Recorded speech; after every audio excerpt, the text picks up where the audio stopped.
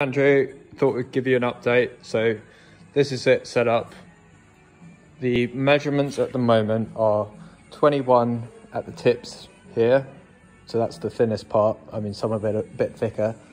And then at the center, not including the knot, we've got 32. That's about there and there.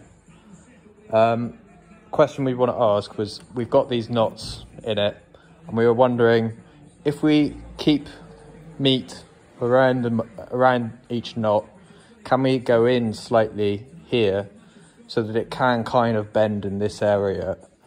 Um, we also want to round a bit off this edge here because at the moment you see it's it's a right angle. Um, we've obviously kept, if we did that, we would keep the, the heartwood in the center there but we would probably end up going all the way to the edge of the sapwood here, like on a longbow, um, sort of a, a rounded profile. Um, I, have seen all the profiles on, on the internet and from what I saw, the crossbow is a bit different in that it's more of a rectangle rather than an oval. Um, so we're just going to draw this for you now just to see where we're at.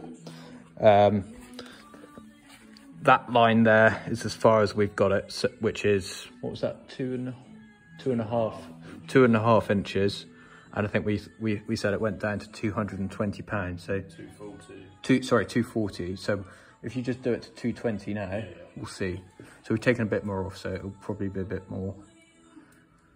Go for it.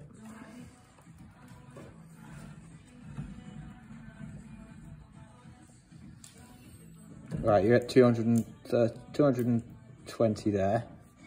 Let me just mark that now, actually. That's 220.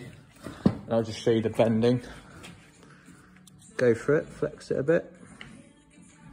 Go back and forth. Back and forth.